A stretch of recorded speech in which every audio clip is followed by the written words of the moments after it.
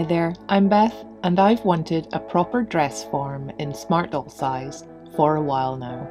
I'd like to be able to pin fabric and trims to the form as I plan things out. Today I'll be sharing both a tutorial and a downloadable sewing pattern for the dress form that I've created, though it is possible to make your own and you can do this for any size of doll. I removed the arms and head from my doll, made sure her back was straight, I wrapped her in cling film and then a layer of masking tape. I drew lines where I wanted seams and darts to be, then carefully cut along the lines, leaving me with my rough pattern shapes. I traced these onto paper and added seam allowance where needed. My daughter thought that my first test piece made a fantastic pincushion. Here's my prototype dress form. I added a stand using a scrap of wooden dowel set into a wood slice. These are the tape pieces I cut from my smart doll and the final pattern pieces I made. This includes a neck and a base piece. The outward kidney bean curve faces the front and there's a hole in case you want to add a stand too. Here I'm including these circles which I used as templates to make the top of the neck and to mark the armholes. For the base I've cut a piece out of medium weight iron-on interfacing. And for the neck and arms I've cut these from heavyweight interfacing, although you could just use cardboard instead. For the main body fabric I've chosen a medium weight 100% cotton in a light cream colour. For the template placement, try to align the centre lines with the selvage edge. Don't place them on the bias or use stretchy fabric because once stuffed, your dress form will become larger than intended.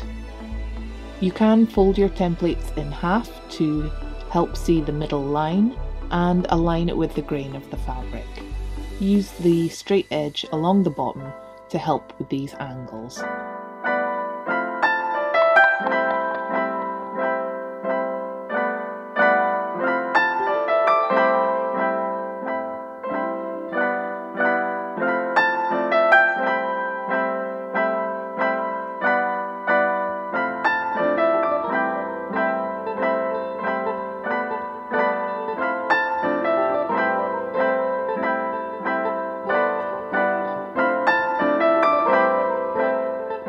Here are my outlines ready to cut, but before you do, take care not to cut into the darts.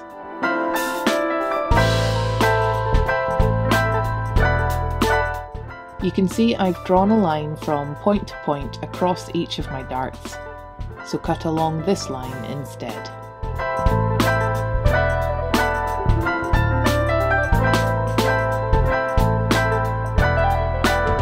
I'll mention it again later, but if you want to add this decorative stitch line that runs down the centre front of the torso, then sew it now. It's purely to help you see the centre line, but isn't necessary. Once everything's cut out, we can start by sewing the darts. There are four to help shape the hips and butt, and two for the bust sides. Here I folded the dart in half, right sides in, with a pin marking the end of the dart, and the other holding the wide end secure. I sew starting at the wide end, moving towards the point, and as with all seams, I do some reverse stitches at the start and end to secure.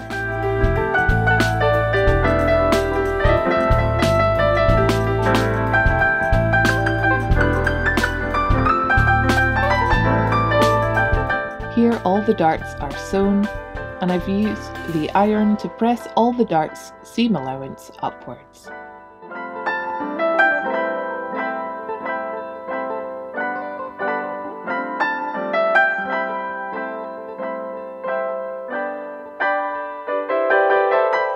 Next I'm taking the centre front pieces and the two back pieces and with right sides in I'm aligning them at the shoulders. There's a 5mm seam allowance included in my pattern, so leaving 5mm, sew across both the shoulders.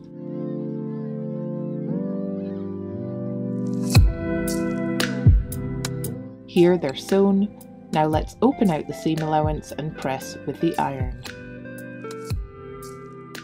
Next, we'll align the side sections with the front and backs. With the right sides facing in, pin as you go.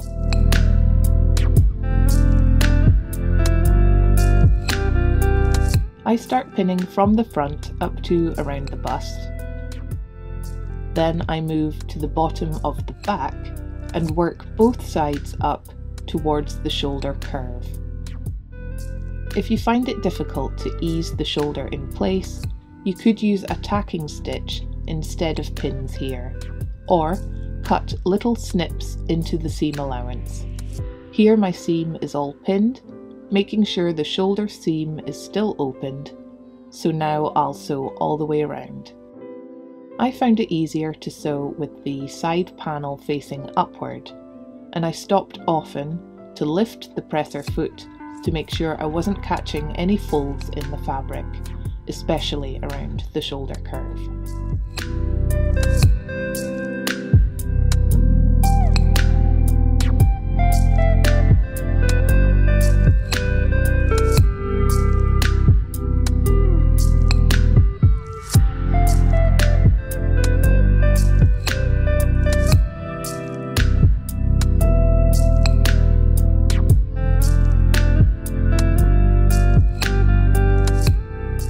Here's my first side sewn in. I'm going to snip the seam allowance wherever there are curves so the fabric isn't pinched when it's turned right side out.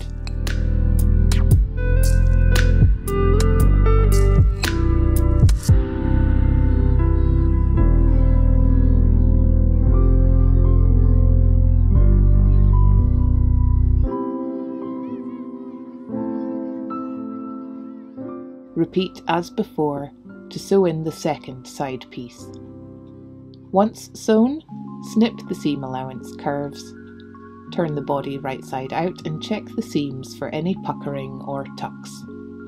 You can always unpick a little section and resew it at this stage, since there are some tricky curves here.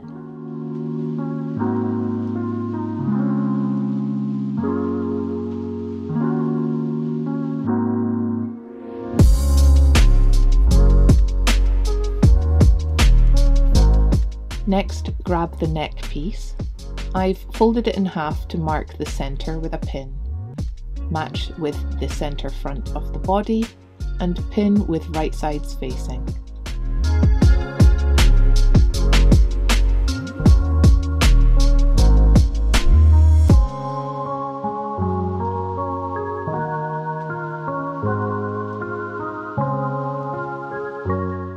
Pin each side to the body then either pin or use a tacking stitch to secure before sewing.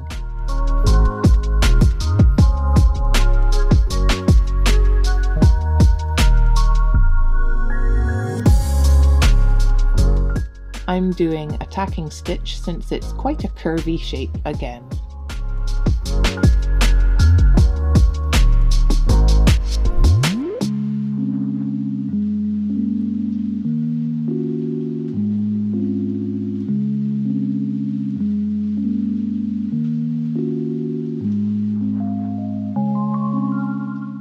Once machine stitched, I finger press the seam allowance upwards. On each side of the back, either overlock or zigzag, from at least the curve of the lower back to the next seam. We'll be leaving that section open for stuffing the dress form later. Next, bring together the opening seams, right sides in, and pin. We will sew the top and the bottom part of this seam, leaving the upper back open. I will mark this clearly on the downloadable pattern.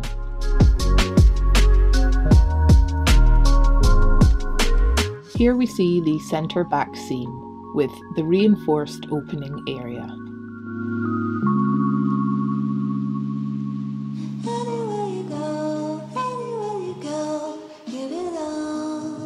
Now grab the kidney bean shaped bottom pieces, cotton and interfacing. Layer them so the shiny side of the interfacing faces outward and the right side of the cotton faces in to the centre. Sew this circle with a small machine stitch, then carefully make small cuts in the centre to allow for the interfacing to pass through the hole.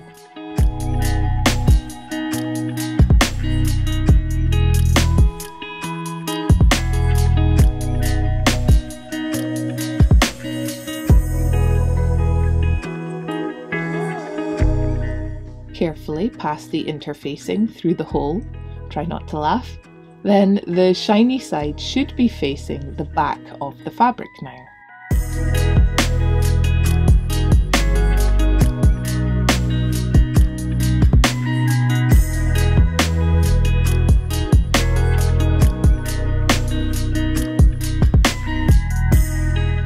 Iron it to fuse. There, I fold it to help mark the front and back centres, then pin to the open bottom of the body, right sides in.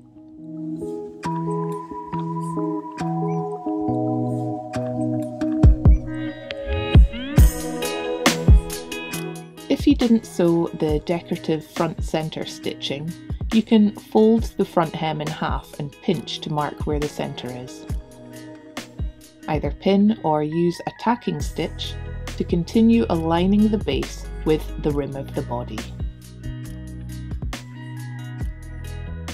I found it easiest to sew with the base at the bottom, stopping frequently and lifting the foot to avoid tucks, etc.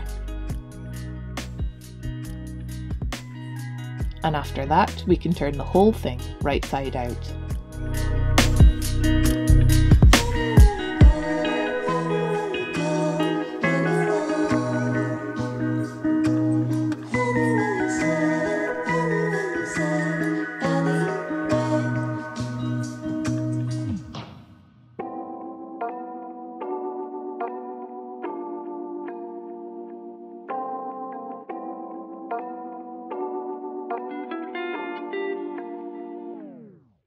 Okay, now I'm opening out the seam allowance at the neck and tucking in the seam allowance like this.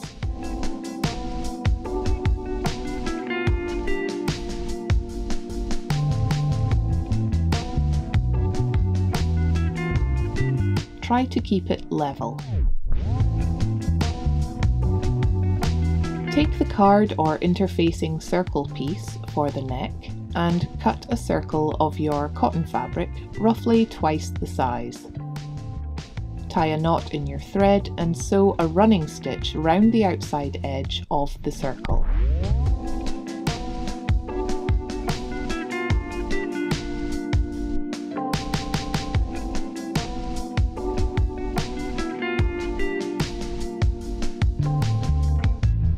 and pull to gather around the neck piece knot your thread, and then we will sew this covered disc to the top of the neck.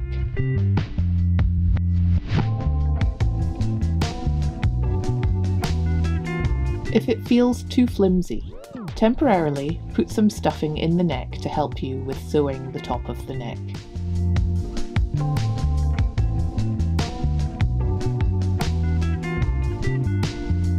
I'm using a ladder stitch all around to secure the neck.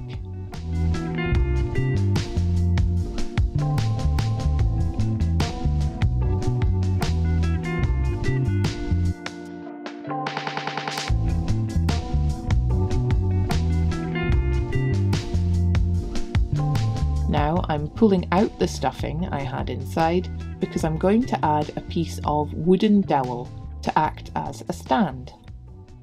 It'll go all the way through the body for the best stability. I'll have to cut this one down to size later, but I have chosen one that'll be long enough for the dress form to be displayed at the same height as my smart doll. I insert the dowel. You could add a dab of glue to the top to stick it to the neck if you wanted, but I'm just going to start stuffing the body. Be sure to get stuffing all around the dowel pack it in tightly. At this point, you can measure your smart doll's hips, waist, and bust and compare to your dress form. It's still possible to make alterations if your fabric has stretched more than expected. You can remove the stuffing, turn the body so the seams are outside, and add stitching further in from your original seams where needed. If you're happy with your measurements though, then go ahead and close up the back opening. I use a ladder stitch here.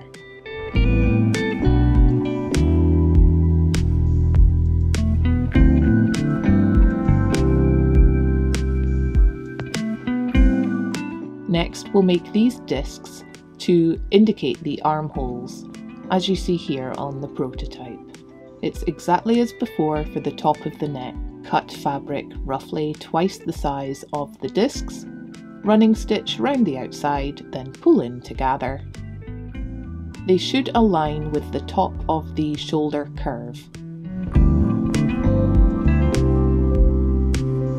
and again I use a ladder stitch to secure them in place. If you'd prefer to leave these off for a more streamlined look, then you certainly could. Now, if you would like to add a little more shaping like I have on my prototype here, with the side bust, hips, butt and navel more defined, this is done with a long doubled thread on your needle. Use the longest needle you can get here, or you risk losing it inside the form. This one, I believe, is an upholstery needle. I pass it through where the darts end, holding the loop at the start.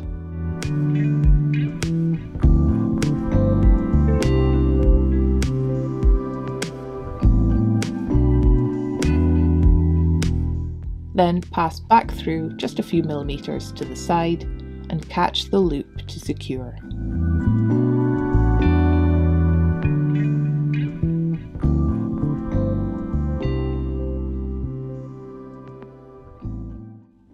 Adjust the strength of the dimpling by pulling on the thread.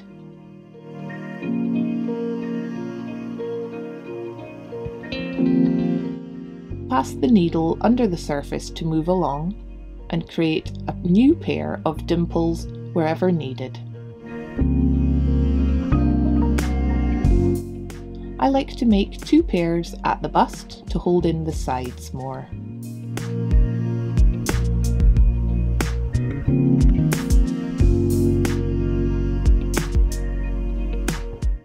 Once you've adjusted them to your liking, Make a knot on the surface to secure.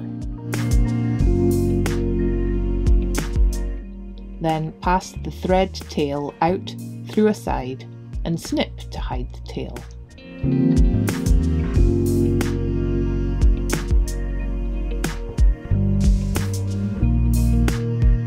This is where I remembered that decorative front centre seam. Again, it's purely an aesthetic choice but it's along this seam that I added dimples in the crease of the butt and navel.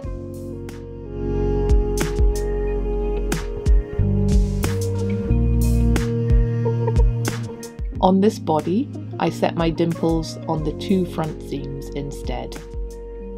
I wanted to show yet another way to adjust the form if you don't want to go back to adjust seams. If your waist is still a little larger than the Smart Dolls, you might try this. I've secured my thread at the centre back and passed it around the waist, surfacing at each seam, making a loop just under the fabric surface. I can pull the thread tighter to pull in the waist, but it does create a little bubbling in the fabric.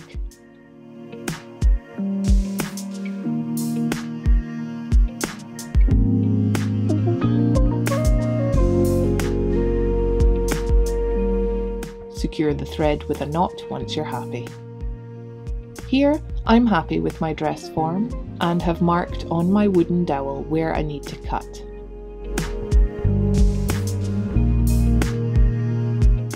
I'm fortunate to have some wooden slices here from an old tree in the garden, but there are many other ways you could weigh down the base. A container filled with stones, a concrete disc perhaps. For this example though, I need only drill out a hole to fit the dowel. There we go, and I'll add a dab of glue at the base and where the dowel meets the fabric to secure all the parts well.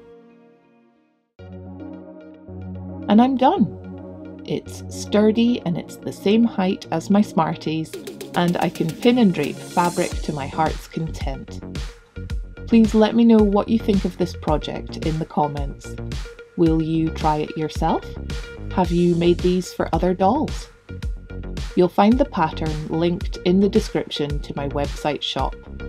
If you're new here, check it out for other doll sewing patterns, freebies, and sometimes clothes and shoe sales too. Stay till the end for something new as well.